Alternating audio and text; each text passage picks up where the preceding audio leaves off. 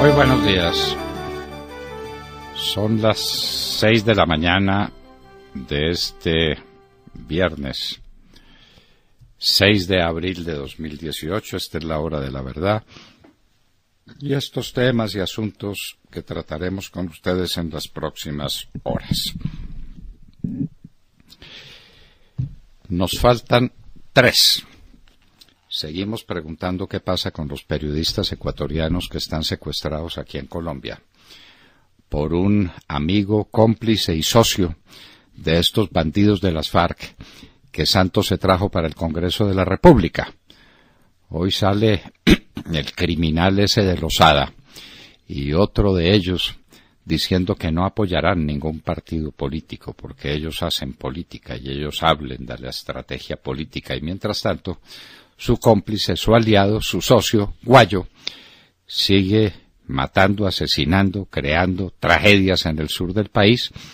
Tumaco está sin luz, otra voladura de otra torre. Ayer a las seis y media de la tarde se produjo el hecho.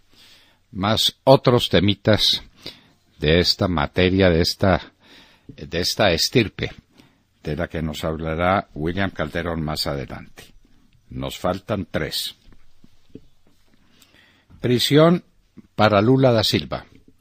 Tiene plazo hasta hoy viernes a las cinco de la tarde hora de Brasil, es decir, tres de la tarde hora de Colombia, para presentarse voluntariamente ante quienes deberán conducirlo a la cárcel para que pague doce años de prisión por corrupción. Es la historia de todos los socialismos, además de que son eh, ideologías completamente contrarias a la naturaleza humana y que constituyen un desastre económico y un desastre social, son además ladrones. Pues no es sino que pregunten por la fortuna de Fidel Castro o por la fortuna de los llamados boliburgueses de Venezuela, la de Maduro y la de todos sus amigos. Son esencialmente unos ladrones. Pues eso es lo que está sucediendo también en el Brasil con Lula da Silva. Se están robando la plata de la paz. Y entonces el fiscal general de la Nación le manda una carta muy seria al presidente Santos diciéndole esto hay que examinarlo. Yo voy a iniciar las investigaciones penales correspondientes y Santos sale a decir Ahora sí se mueve el fiscal, porque nosotros estamos muy preocupados y hemos sido los primeros en decir que aquí podrían se, podrían estar cometiendo irregularidades, como si no tuviéramos las declaraciones de él en el Guainía o donde, diciéndole a los eh, embajadores de Suecia, de Noruega y de Suiza que estén tranquilos que los fondos se manejan con total transparencia con la transparencia con que manejan los fondos los amigos de Santos. El mayor robo en la historia de América, de América, es el robo que se le ha hecho a Colombia en estos años de Santos. El debate presidencial de Barranquilla, definitivamente Iván Duque los volvió ropa de trabajo, con grande estilo, con grande calidad, todos en contra de él, y para todos hubo en el debate en Barranquilla. Guerra entre finqueros e indígenas en el Cauca. Esta es la herencia de Michirrinchi, probablemente el actual presidente del partido de la U. ¿Recuerdan ustedes? ¡Fuerza, fuerza! Chirrinchi, Chirrinchi Ventiao. Bueno, muy bien. Ahí sigue.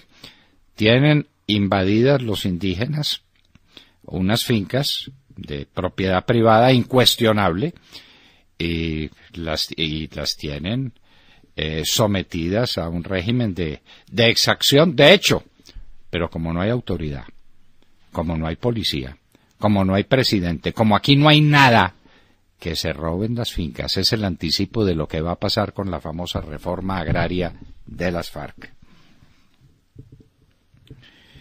Justicia ecuatoriana le pide a Naranjo y a la cúpula militar que se presenten ante el juez de sucumbíos por ataque al campamento de Raúl Reyes. Ese es un tema internacional, ese es un hecho de guerra. Colombia se tuvo que defender de los ataques que Raúl Reyes dirigía contra el ejército colombiano había asesinado más de 20 soldados en Teteyé simplemente pasando el río y regresando a su zona eh, en la que campeaba a sus anchas porque el Ecuador no hacía nada, absolutamente nada, por brindarle seguridad a los colombianos y a los ecuatorianos. Pero ahora el juez de sucumbíos insiste en juzgarlos allá en el Ecuador. Estados Unidos se pronuncia contra la presencia de Maduro en la cumbre de Lima. La Comisión de Acusaciones de la Cámara de Representantes dispuso que el proceso contra el magistrado Malo pase a la plenaria de la Cámara. Votación 10 a 0. ¿Y la de Bustos cuándo se produce? Esperemos que pronto estos corruptos magistrados de la Corte Suprema, hijos de la Constitución del 91 que le entregó el nombramiento de los altos magistrados de la Corte Suprema de Justicia a los políticos colombianos, al Congreso de Colombia. Nadie da más de lo que tiene. En latín, nemo plus juris adalium transferre potes quam ipse habit. Nadie transfiere a otro un mejor derecho del que tiene. Si el Congreso es corrupto como es corrupto, ¿Cómo puede salir del Congreso un Consejo Superior de la Judicatura que no sea corrupto? Ahí están los resultados. Magistrados de la Corte Suprema de Justicia listos para ir a la cárcel por corruptos, por vender sus sentencias. ¿Qué pasará de ahí hacia abajo? Pregúnteselo cualquiera.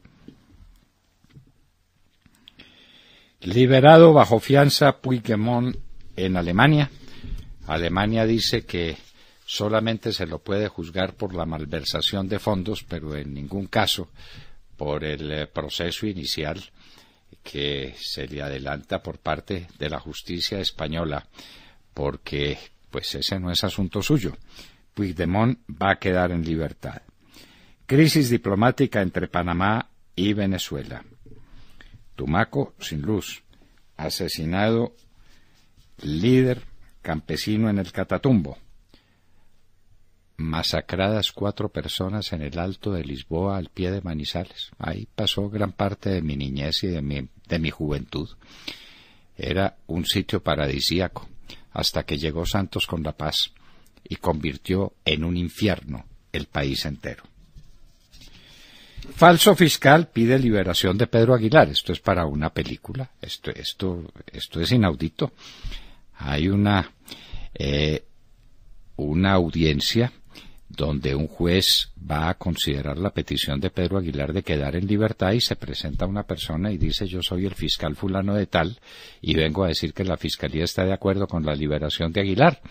El juez convencido con semejante argumento de autoridad suelta a Aguilar, que está condenado a muchos años de prisión por el robo de en, en la chatarrización de vehículos. Con razón o sin ella, esta forma de liberación sí es de película, de película.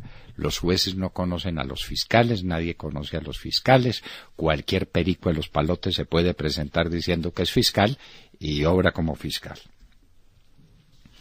El ELN tiene dos secuestrados en Arauca. Lo secuestró Pablito, que fue liberado por la señora Moya Suta, y, y aquí no pasa nada, porque siguen negociando la paz de Colombia, la siguen negociando en Lima mientras estos bandidos siguen haciendo de las suyas, secuestrando, volviendo un infierno las zonas de influencia que ahora son todas.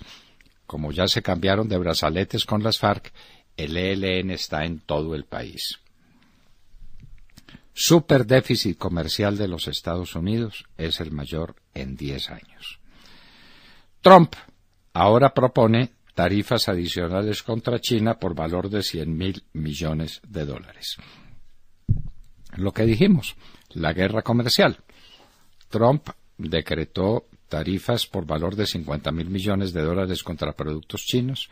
China decretó eh, tarifas por valor de 50 mil millones de dólares contra productos de los Estados Unidos que fueran a entrar a ese país. Y ahora Trump propone 100 mil millones de dólares y así seguiremos hasta la guerra final. Trump no sabía del pago de 130 mil dólares que su abogado Michael Cohen le dijo a la actriz pornográfica Stormy Daniels para que guardara silencio sobre las relaciones, obviamente extramaritales, que había sostenido Trump con ella. Mejor a la hija del exagente envenenado Julia Escripal. Ella guarda silencio sobre las causas de su envenenamiento. Hoy también tendremos otro veredicto final contra una exmandataria, la surcoreana, presidenta surcoreana Park Jun-hye. Piden 30 años de prisión por corrupción contra ella. Mm, cuando veas rasurar al vecino, pon tu barba a remojar, decía el Quijote.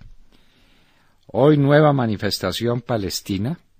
Frente a Israel, la Casa Blanca pide mesura para que esto no desemboque en otra mortandad como la manifestación pasada. Peña Nieto protesta por envío de tropas de Estados Unidos a la frontera y 54 niños de una tribu indígena han muerto por sarampión en Venezuela. No hay vacunas. Los niños en Venezuela se mueren por falta de vacunas. Pero no hay quien proteste ni quien diga nada. Esto es un genocidio el que está cometiendo ese salvaje de Maduro y sus amigos del cartel de la eh, el cartel de los soles y los eh, todos esos boliburgueses que tienen se robaron a Venezuela y no hay ni siquiera vacunas para los niños. Un genocidio el que se está cometiendo contra el pueblo venezolano, pero nadie protesta, nadie dice una palabra, empezando por la canciller colombiana, quien es íntima amiga del señor Maduro. Bueno, muy bien, en eso estamos. Y en hoy en la historia, en un día como hoy, algo, eh, algo positivo que le llegue a la humanidad uno de los libros más hermosos que jamás se escribieron, en plena guerra mundial en el año de 1943. Antoine de Saint-Exupéry, el gran piloto de guerra francés y grande escritor, produce su obra Cumbre, una de las obras más bellas que jamás se escribieron, El Principito. De todo esto y de mucho más hablaremos con ustedes en las próximas horas, en la hora de la verdad.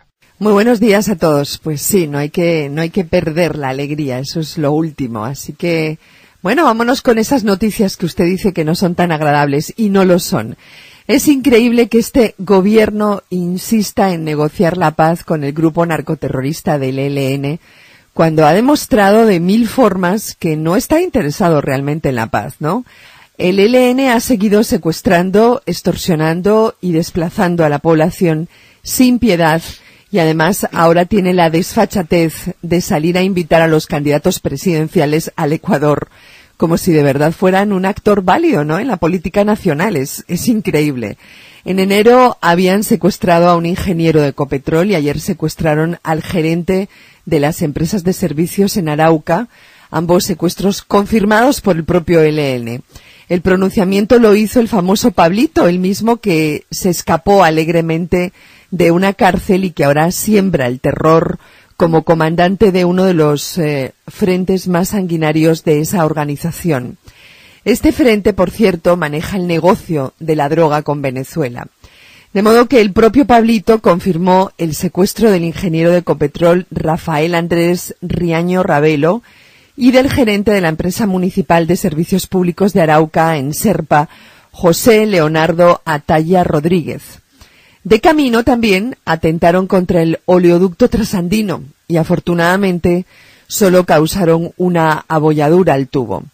Pero lo más alucinante es que el narcoguerrillero Pablito justifica sus acciones y dice que como organización revolucionaria insurgente ellos tienen derecho a las retenciones económicas y políticas. Y para rematar, el ELN invitó a todos los candidatos presidenciales a Quito, Ecuador, para hablar del proceso de paz que se adelanta en estos momentos. Algunos candidatos como Pinzón ya respondieron y dijeron claramente que no aceptan semejante invitación y que esa invitación es un irrespeto con la democracia. De modo que así están las cosas en estos momentos. La pregunta es, ¿Cuándo fue que los delincuentes se crecieron tanto y actúan ahora como los dueños del paseo? ¿Y por qué el gobierno insiste en negociar con un grupo narcoterrorista que justifica el secuestro y todos los delitos, ¿no? De camino. ¿Cómo negoció con las FARC?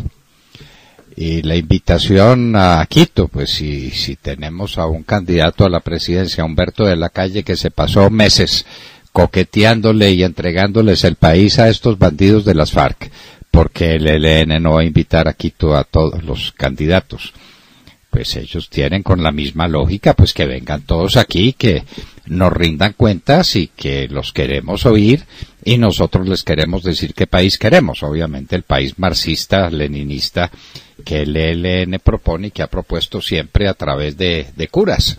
Es que los curas eh, que llaman rebeldes los curas marxistas, que eso es una contradicción en los términos, porque no puede haber un sacerdote marxista, no lo puede haber. Y los que se declaran tales y coquetean con el marxista son traidores a alguna de las causas. Y obviamente la causa que primero traicionan es la causa de Dios, la causa de la Iglesia, la causa de la religión. Bueno, de manera que ya tenemos pues al ELN poniendo condiciones y secuestrando más gente y justificando el secuestro. Es que tenemos pleno derecho a hacerlo. Pues si las FARC tienen derecho a hacer tantas cosas como las que siguen haciendo a través de lo que llaman las disidencias y lo que les dan es curules, ¿por qué no se las van a dar al ELN también? Y después al EPL y después a las BACRIM y les entregamos el país entero como, como se los está entregando, aunque el cardenal diga que no y que eso es mentira y que a las FARC no se les ha entregado nada. Nada y que no hay que tenerles miedo. A estos del ELN no hay que tenerles miedo en absoluto, en absoluto. Vaya, pregúntele a las familias de los secuestrados qué opina, cardenal. Salga un momentico de su palacio cardenalicio y, y úntese de la tragedia, del dolor de la gente acosada por estos... Póngase las botas. Por estos bandidos. Bueno, las botas de guerrilleros las tiene puestas siempre, ¿no? Claro. Ah, pero ahí sí no. no. Tuvo la osadía de ponérselas en el Club El Nogal, donde estos bandidos habían puesto una bomba para asesinar eh, a la gente, a mujeres, a niños. Le pareció muy lindo ponerse una bomba, porque a eso no hay que tenerle, ponerse unas botas, porque a eso no hay que tenerle miedo, no en absoluto. El artículo de Eduardo Mackenzie sobre el particular lo deben leer ustedes, está aquí en la página sí, es, de la hora. Es, muy bueno. Qué maravilla de artículo. Sí. Qué maravilla de artículo el de Eduardo Mackenzie. William Calderón. Doctor Londoño, buenos días, buenos días Colombia, gracias por invitarnos a sus hogares y a sus vehículos.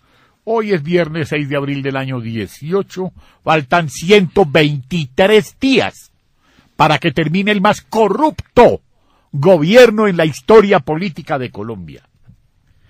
En una finca cafetera, en las goteras de Manizales, en el Alto Lisboa, ocurrió una masacre, cuando fueron asesinadas cuatro personas en un sitio considerado por propios y extraños como un verdadero remanso de paz. Las víctimas estaban amordazadas, amarradas y con tiros de gracia.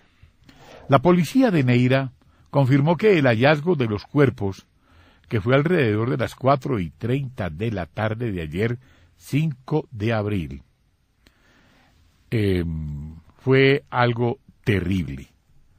Para hoy, a las siete de la mañana, el alcalde de Manizales citó al Consejo Extraordinario de Seguridad.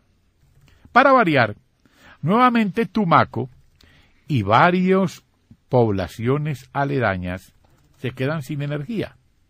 El gerente de la electrificadora de Nariño así lo confirmó. Finqueros e indígenas enfrentados en los territorios de Minchirinchi. También encontraron armamento en el Mango Cauca, en donde se registró un tiroteo ayer, como lo pudo confirmar la propia policía.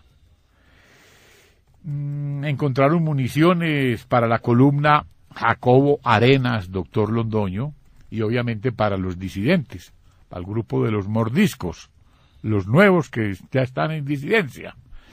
bienvenida pues la paz, la paz, la paz.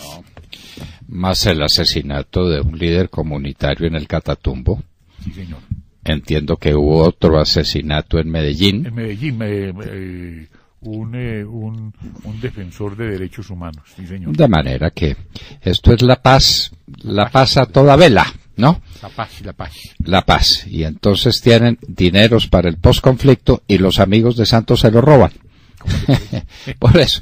Y tiene que intervenir el procurador, el fiscal y el contralor a decirle, a ver, pongámosle orden a esto, pero esto es el colmo, pues. Hasta la plata para la paz se la roban los amigos de Santos. Sí, No, los por embajadores están preocupados. Ah, Bueno, están preocupados, no, se sienten burlados, se Claro. sienten ofendidos, pues dan unos millones de dólares, que para ayudar en el posconflicto y la plata se la roban. No, se está manejando con toda transparencia. ¿Por qué no nos dicen dónde está? Piensen, es que está en la cuenta tal del Banco de la República o está en la cuenta tal del banco tal y aquí está el dinero y lo vamos a utilizar en proyectos. ¿Dónde está la plata? Qué fácil es decir que hay una plata. 200 millones de dólares, es decir, eh, eh, ¿cuántos por multiplicado por 3 mil?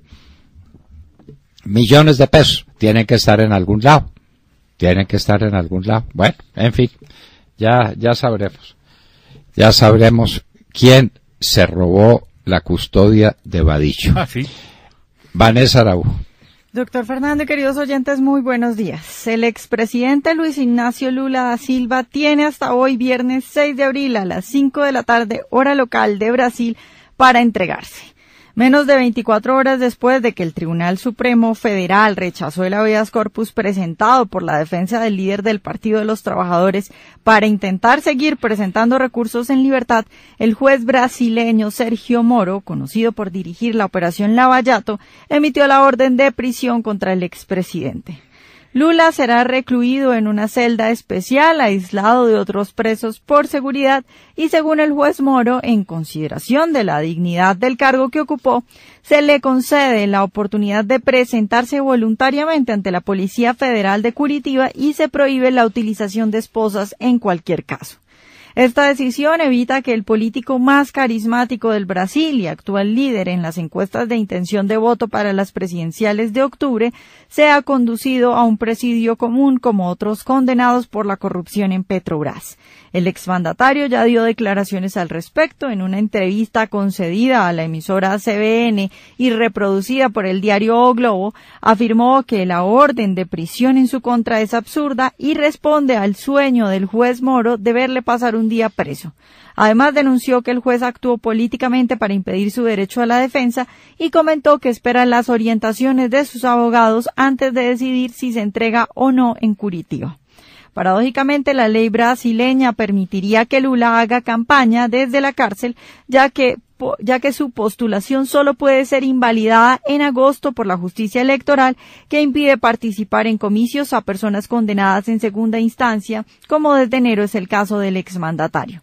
Y mientras tanto, también ayer la justicia alemana ordenó la libertad condicional para el expresidente catalán Carles Puigdemont, tras estimar que su eventual extradición a España no puede hacerse bajo la acusación de rebelión, sino solamente y tal vez por malversación de fondos. Un tribunal alemán estimó que el delito de rebelión que presentó la justicia española en la orden de arresto no es equiparable en derecho alemán.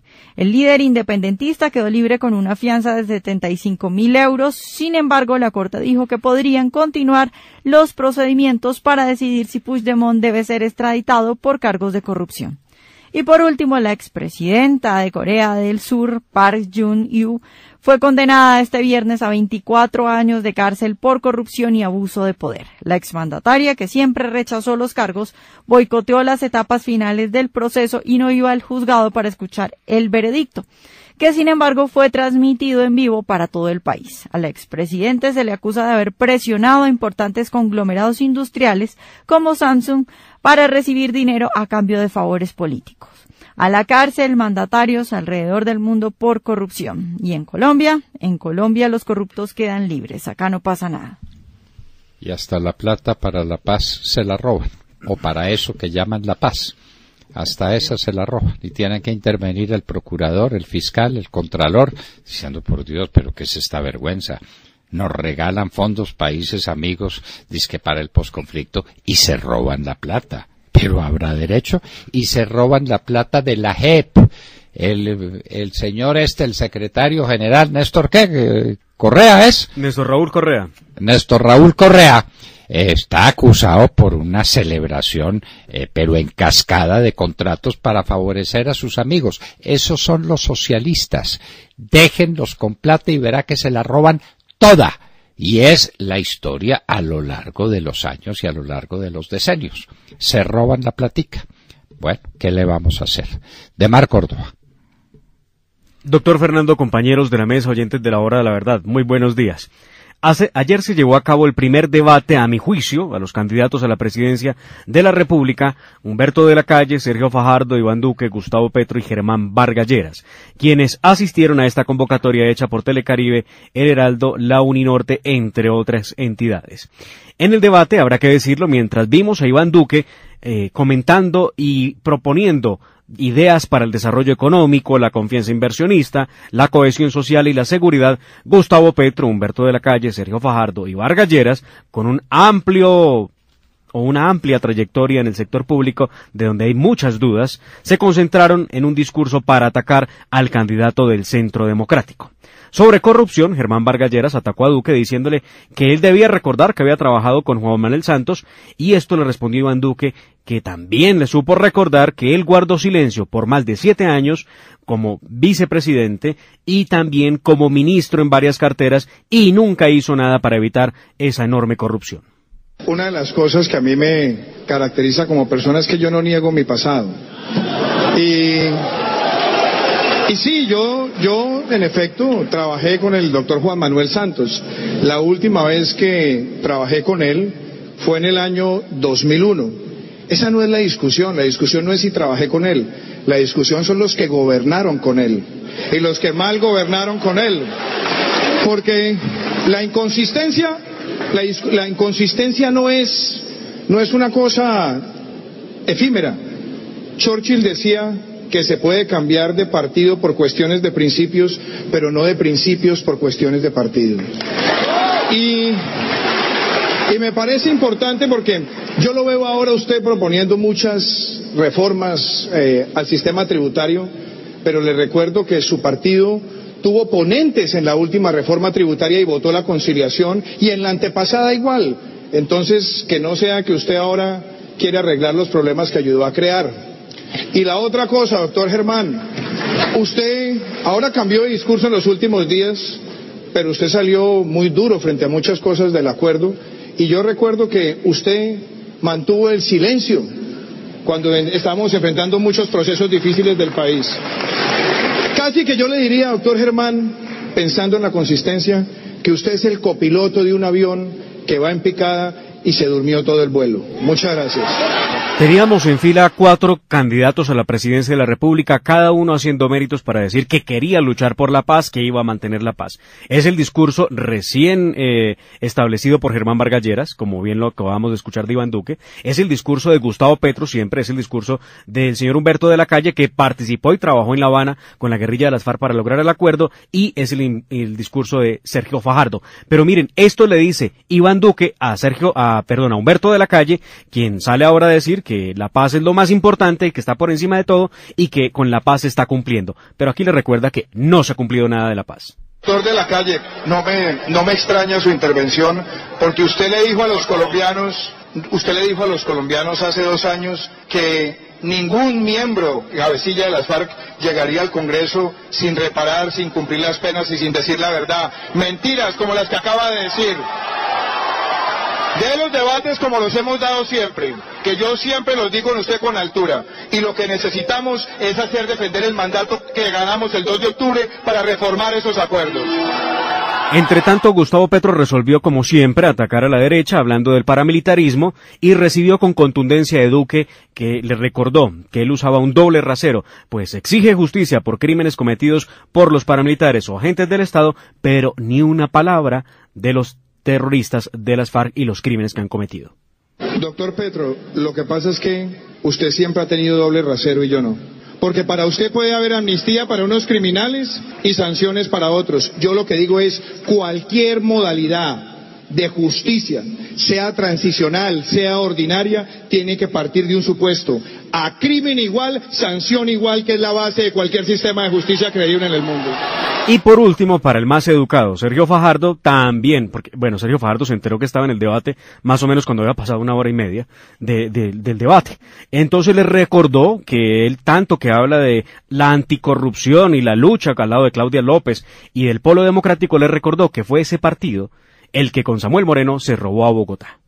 La lucha contra la corrupción también necesita coherencia y consistencia, pero que no vengan ahora a quitarse del medio a cualquier acusación cuando hacen coaliciones con el partido que Samuel Moreno utilizó para robarse Bogotá.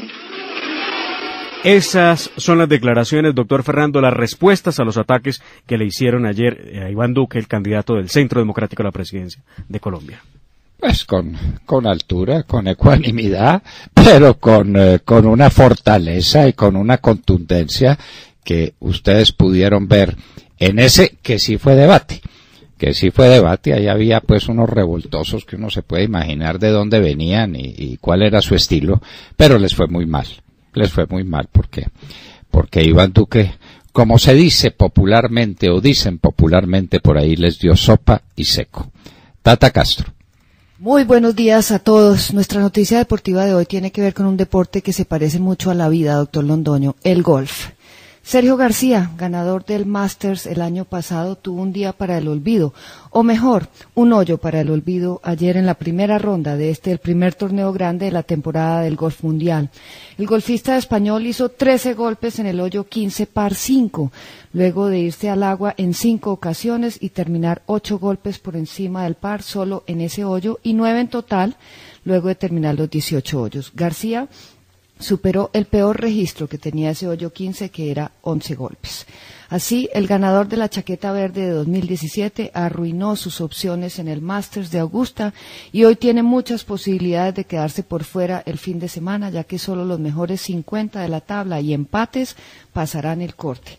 Sergio, con 81 golpes, es penúltimo, superando solo al jugador aficionado inglés Harry Ellis, que terminó 14 golpes por encima en total, 86 golpes. Terminada la primera ronda, el estadounidense Jordan Speed, con 66 golpes, 6 por debajo del par, lidera. Speed tuvo unos últimos nueve hoyos espectaculares, doctor Londoño, donde realizó cinco verdes consecutivos, desde el hoyo 13 hasta el 17. En segundo lugar, con 68 golpes, cuatro por debajo del par, lo ocupa su compatriota Tony Fino. Este golfista que está jugando con esguince de tobillo, ya que se lesionó en el concurso de par 3 el día miércoles luego de celebrar un hoyo en uno que realizó. Tiger Woods con 73 golpes ocupa el puesto 29 y los latinos, Ángel Cabrera en el puesto 62 con 76 golpes, 4 por encima del par y el venezolano Jonathan Vega en el puesto 73 con 5 golpes por encima del par, 77 golpes. El aficionado chileno Joaquín Nieman en el puesto 62 igual que Ángel Cabrera con 76 golpes. Eso es lo que está sucediendo en el primer torneo grande de golf, el Master de Augusta, donde solo 16 jugadores de 87 jugaron por debajo del par ayer. Hoy, segunda ronda y corte. Bueno, es sin duda el torneo más importante de golf que se eh, juega en el mundo. Pero el parece más que los medios, los medios como que no saben eso, doctor. Los, los medios colombianos no saben, pues aquí no tampoco saben. supieron que hubo Open de Miami en tenis. Tienen sí, ni sí. idea. Tienen ni idea, ni les importa, ni aquí lo que no es fútbol, pues lo que no es con pantaloneta y guayos, no existe para el deporte. En la hora de la verdad sí. Y el golf es el deporte de mayor crecimiento en el mundo. ¿Sabía usted eso? Claro. Claro, bueno, es que mire nomás los premios que hay. Bueno, y el de mayor crecimiento en el mundo, todos los días se abren campos de golf porque un campo de golf es una invitación a, a lo mejor, a lo mejor del espíritu humano. Le enseñan a uno además mucha humildad, ¿no? El que quiera jugar Por eso golf, lo comparo con la vida. tiene que ser muy humilde muy tenaz, muy alegre en lo, en lo positivo y en lo negativo. Bueno, El golf, el golf es una, toda una cátedra, toda una cátedra al aire libre, generalmente en campos bellísimos. Los nuestros son hermosos, tenemos campos preciosos que sirven no solamente para solaz de unos cuantos, sino para un alivio del espíritu a todos los que se aproximan a ese deporte tan hermoso. Se está jugando pues el Máster de Augusta, hoy lo podrán ver ustedes por ESPN, ¿no es cierto? Sí, señor, por ESPN Bueno. comienza la transmisión más o menos a las 2 de la tarde. Hoy habrá corte, seguramente corte. García queda cortado, los latinoamericanos pa- parece que también van directo para el corte. Pero Y- García se tiene que quedar hasta el domingo, así to corte no, y así no puede Ah, sí, jugar, claro, porque él para tiene entregar, que entregar la chaqueta. A entregar la chaqueta, pues se queda paseando. Ese es un sitio hermoso para pasear y para con divertirse. su está hija. Azalea, Eh, Con su hija Salea, exactamente. que no Bueno. le sentó muy bien ese papel de padre en la primera ronda. en el hoyo 15 sobre todo. sí, sí. En fin, y Tiger Woods, pues eh, nada especial. No está mal, no está mal. pues, pero... ronda. Ay, por Dios. Por ahora Ay, pasa el corte. ah, bueno, pasa el corte. ¿Qué tal, qué tal el consuelo para el más grande jugador de golf, acaso de todos los tiempos, no? Sí, Acaso. Muy el bien. más grande. El más grande, pero un hoyo en uno le trastornó la vida. Recuerden ustedes que la señora que lo sorprendió por ahí en algunas infidelidades, entonces resolvió golpearlo con un hoyo uno. Y hasta Con un drive. No, no, fue un- un hierro uno. con un hierro uno. Es que usted dijo un hierro hoyo uno. uno, con un hierro uno. Ah, hoyo en uno, no, con un hierro uno. Con un hierro uno. uno. Y le dañó el carro y bueno, y hasta ahí llegó la carrera de Tiger Woods. Muy bien, en un minuto seguiremos con ustedes. Estamos esperando que la candidata a la vicepresidencia por la Gran Alianza por el Cambio, Marta Lucía Ramírez, esté con nosotros. En caso contrario, seguiremos comentando muchas cosas que tenemos que comentar con ustedes. Estoy muy impresionado, William, con la noticia que viene de Manizales, Sí, señor. De la Usted- bueno, muerte. cuéntenos cómo es el sitio que usted conoció de niño. Cuéntenos ah, ese- es una belleza, es una belleza. jugaba billar. El Alto de Lisboa, claro, allá jugábamos billar con nuestros amigos Juan Bernardo Botero, Bernardo Villegas, Alonso Escobar. Allá íbamos cuando los invitaba a la finca, caminábamos un ratico cuesta arriba y llegábamos al Alto de Lisboa. Yo no había nacido cuando eso, pero me... donde se domina, sí, claro, bien pueda, deje salvedades, bien, se dominan esos, ese poniente del Cauca, el poniente del Hermoso. sol sobre el río Cauca, eso es hermoso, porque la carretera continúa y llega a Irra sobre el río Cauca. Claro. Bueno, es una, una zona cafetera preciosa. Bella, de lo más bello So- que hay en Colombia. Zona de paz ahí. Sí, zona de paz, un Pues, remanso. de, de paz, de amor, de, de encuentro entre Los todos. niños, los niños bien vestiditos, bien Todos. bañaditos, las escuelitas, Todos todo los- hermoso, todo lindo. todos los domingos con el teníamos colocado. No. Misa, misa en Lisboa, la Misa. Santa Misa en Lisboa. Partido de fútbol en Lisboa, en- en- ahí en la máquina. Eh, Bueno, en la máquina, pero en Y- Lisboa, ahí arribita, donde ¿eh? se produjo esta masacre de cuatro personas. ¿Cómo le Eso- parece? Entonces, Eso ¿esto qué no es? se lo había imaginado nadie. Allá había unos policías que pues tenían, ¿no? te- sí, pues sí, tenían el encargo ahí de contribuir a, a la paz, por ahí algún borrachito que, que se excedía o alguna cosa, pero, pero jamás, jamás en Lisboa pasó nada.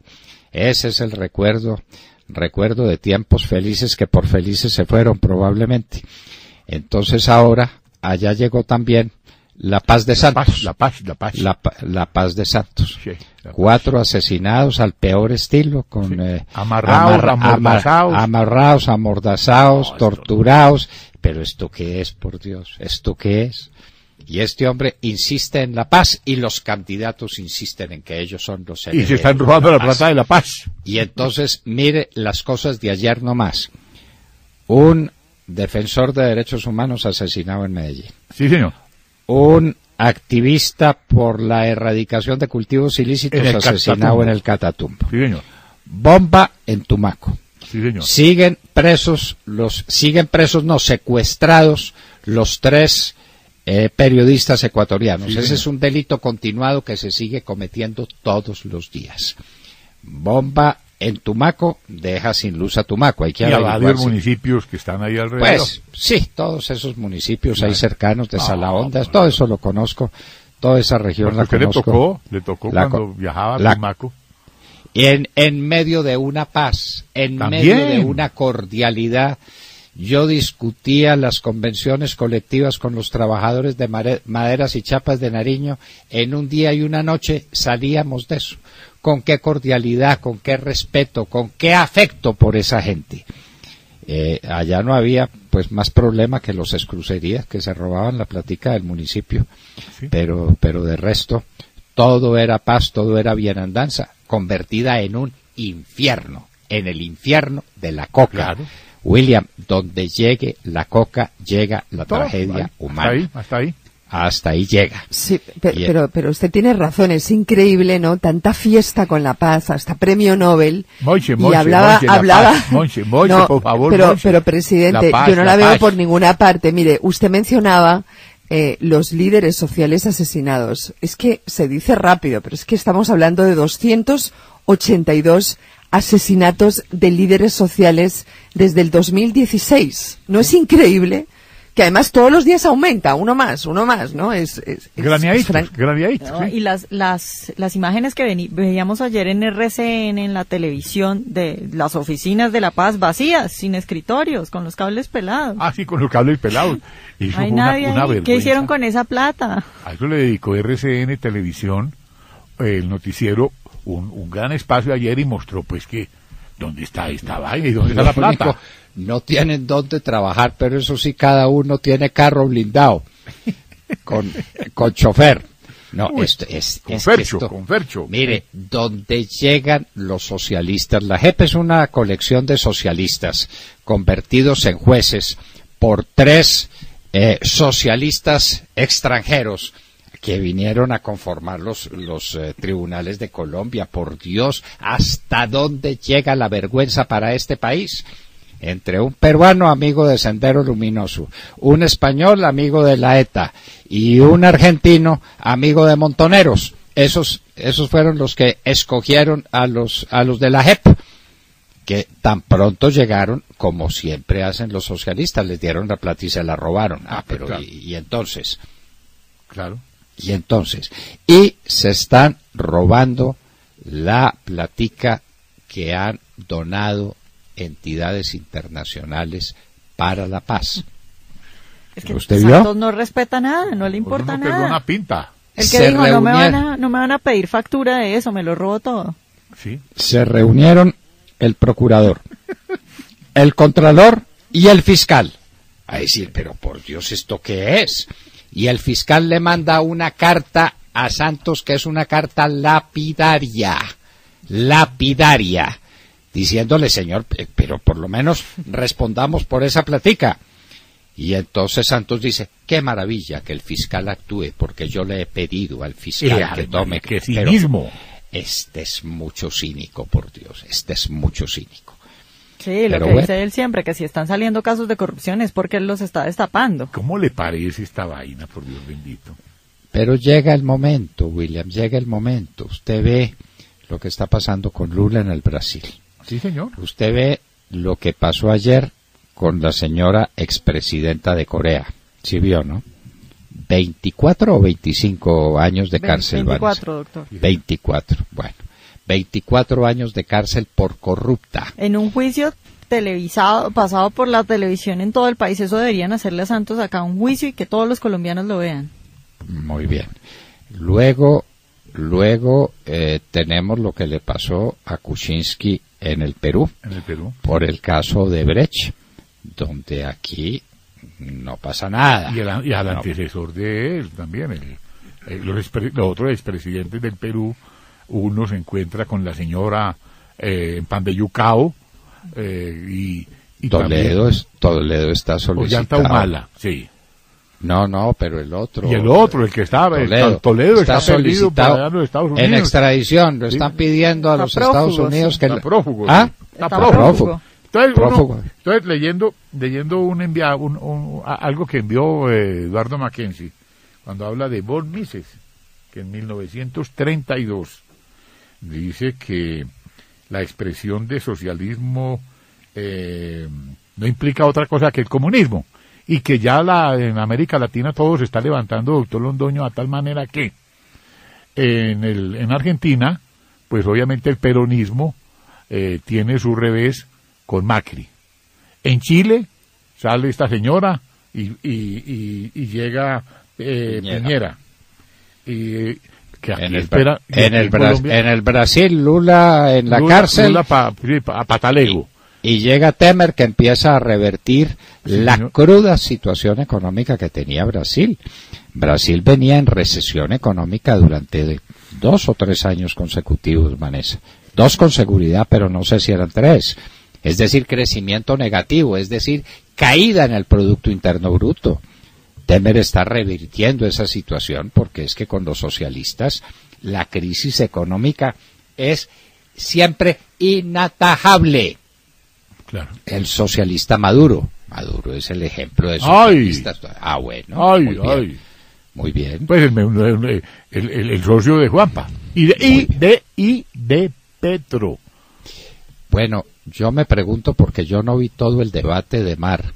¿No les preguntaron, no propusieron el tema del narcotráfico? ¿En Barranquilla? Claro, doctor Fernando, el tema del narcotráfico fue uno de los, de los asuntos que se tocaron cuando se habló de la seguridad. No fue un tema aislado, lo metieron en el tema de seguridad, pero el único que respondió sobre la necesidad de atacar la dosis mínima, que es donde nace todo el narcotráfico, fue Iván Duque. Los demás hablaron de las oportunidades sociales. Oiga, pero ¿sabe qué me sorprendió más todavía? Que a las preguntas económicas, cuando menos, doctor, no había manera de que pudieran responder algo. Eh, eh, pues es que no tienen ni idea. Mire, yo, yo quiero compartirles algunas cosas de eso. ¿Por qué no les pregunta eh, qué es el PIB? a ver, dígame qué es el PIB. Y, y, y, el señor Fajardo parecía, como el cuento ayer de Montecristo, que nos echaba Monse, que, que parecía que parecía con las con las con las llantas para arriba. Una vaina buenísima el tipo mirando como para el cielo aquí así. Parecía como el personaje de Montecristo allá. Cierto mire, mire Fajardo Fajardo estaba en el debate pero no estaba. Estaba de cuerpo presente pero la cabeza no estaba allí. Sí, él estaba calladito. Eh, mire mire por ejemplo como ido ido ido ido ido, ido, ido, y en el otro debate también ido no desaparecido. Le preguntaron sobre su propuesta económica y miren ustedes lo que respondía Sergio Fardo, escúchenlo. ¿Cuál es, en su concepto, el modelo económico para Colombia? Yo les pido que hagan especial énfasis en los temas de impuestos, de empleo y de inversión extranjera que le interesan a la, a la región Caribe. Señor Duque, dos minutos cada turno. Eh, la palabra al señor Fajardo. El impuesto más grande que tenemos nosotros en Colombia es la corrupción. Lo que nos han robado lo que se están robando muchos de esos que han llegado al poder y que han hecho del poder su presupuesto particular y se han robado las oportunidades de nuestra gente en el Caribe y en todo el territorio colombiano. Oiga, pues usted la respuesta de... Él solo sabe hablar de corrupción, no, no sabe decir nada más. Absolutamente precioso, diría. Pero a él le recordaron la relación de él con, con, con, la, y la familiaridad que tiene con el polo y obviamente con la política que aquí en Bogotá ha dirigido este señor que está en Canao, el señor Samuel Moreno. Pero no, pero no es el único que no sabe hablar de economía. También escuchamos a, a Gustavo Petro, quien en su presentación dijo que él había estudiado durante nueve años economía que él estudió economía, sí, sí, sí, él estudió economía y tiene unos, no supo decir si era posgrado o, era unos cursos sobre economía, pero que él inclusive también había estudiado filosofía, pero eso es un estudio que hizo él, eh, eh Vea, pero ¿cómo se llama? Autodidáctico, eso fue un estudio autodidáctico. ah, de filosofía. Sí, de cursos que están en la picota. Pero será ontología, será lógica trascendental ¿Será psicología experimental o filosófica? ¿Será heredero de Locke con Dilac?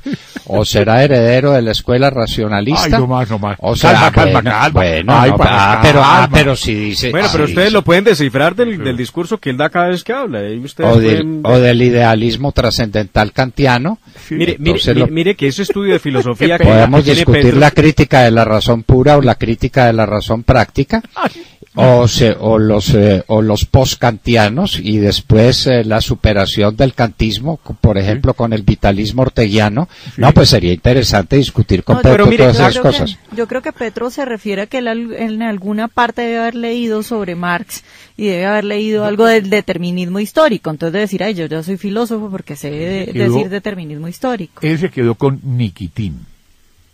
Miren, miren, miren ustedes para que comprendan el estudio a fondo en la economía, qué es lo que plantea el señor Gustavo Petro para el asunto en el país. Escúchenlo. que propongo es ir de ese tipo de economía que no permite la inclusión social y económica de la mayoría de la población hacia una economía productiva. Una economía productiva y democrática implica democratizar los factores de la producción, Ah. no de la extracción. Y esos factores de la producción en el siglo XXI son conocimiento, saber, tierras fértiles y agua potable, energías limpias y crédito. La mayor parte de la economía popular del Caribe está bajo el gota a gota. Propongo dígame- una dígame. banca pública para democratizar el crédito, un sistema de educación superior gratuito y público para democratizar el saber y una distribución democrática de la tierra fértil del Caribe para hacer del Caribe el granero agroindustrial de Colombia y del Caribe A, tra- a través de la distribución de la tierra, a través del minifundio. Sí, pues esa ah, es la sí. teoría de las FARC. Esa fue la teoría en la Revolución Mexicana y de ahí nació el ejido mexicano que tuvieron que superar pues a las malas porque se estaban muriendo de hambre todos. Se morían del hambre los dueños del ejido y se moría de hambre el resto del pueblo mexicano porque no había comida. Entonces tuvieron que salir de eso y hacer grandes desarrollos agrícolas como los hay en México actualmente y no propiamente sobre estas bases de las que habla Petro, que pues que es, es decir nada. Es que yo No. quiero un campo Lo muy mismo de Marx, doctor. Lo que, lo que pasa es que cambia la palabra, porque Marx decía que lo que hay que hacer es socializar los medios de producción. Petro viene y dice hay que democratizarlos. Sí, es la misma. Además, Dem- es, es, es muy Demo- tonto. democratizarlos. Hágame el favor, democratizar los bienes de producción. ¿Qué concepto de la democracia el que tiene? La democracia es el gobierno del pueblo. No se democratiza la tierra, la tierra se reparte, se divide, se fracciona, se entrega, hagan lo que quiera, pero no se democratiza. Es que se le entrega al pueblo y al pueblo cómo se le entrega. Stalin también se le entregó al pueblo, pero pues a, a su manera. Es decir, eh, se incautó de toda la tierra productiva de Rusia y se la entregó al pueblo que era él. Resultado, resultado, el país agrícola más rico del mundo, que es Rusia, no se ha recuperado del golpe que Stalin le dio a la producción agrícola en Rusia hace casi 100 años. ¿Cómo les parece? Oiga, Es que- aquí, aquí me están haciendo un reclamo. Me están diciendo que no, que cómo es eso que Gustavo Petro estudió. Y sí, pues, yo, yo le, pre- le, le sugiero, doctor Fernando y compañeros, que me permitan poner un pedacito de cómo es la presentación de Gustavo Petro para que sepan ustedes qué fue lo que estudió y cómo está preparado. Escúchenlo, por favor. Doctor Petro, lo que pasa es que usted siempre ha tenido doble razón. ¿Qué soy yo? Porque para usted puede haber ambición. Diría que un luchador Por favor, por- perdone, señor Petro, por justicia favor. social. He sido un luchador toda mi vida y mi objetivo ha sido construir la justicia social en Colombia. Soy oriundo del Caribe, Petro, San Pelayo, Córdoba, mi pueblo originario Ciénaga de Oro. Migrante hacia el centro de Colombia, Zipaquirá, un pueblo de obreros. Estudié en escuela pública, en colegio público. Trato que la lucha que desarrollo desde mi juventud tenga un sustento teórico, un estudio. Lucho y estudio. En colegio público sí, y después del colegio nueve años de estudio académico en economía, un año en administración pública, alcancé a estudiar un año de doctorado que no terminé, profundizando en el terreno de la economía y la filosofía. Bueno, ahí está. Ese es Ese- el, el perfil. sí. Tiene más cartones que un tugurio. Ese, ah, sí, eh, lo que pasa es que no puede mostrar ninguno, ¿no? nueve años de economía. ¿Dónde estudiaría nueve años de economía? Ay, Pues con nueve años de economía le alcanza para hacer el pregrado, para hacer una maestría y para empezar a estudiar doctorado. Sí. Lo que habla él el doctorado, supongo yo, fue unos cursitos a los que asistió en Lovaina, en Bélgica. ¿Él no estuvo allá de, de diplomático? Sí, señor, allá estuvo. Ah, bueno, muy bien, muy bien. Entonces allá estuvo en unos cursos donde no aprendió nada, yo creo que ni francés aprendió.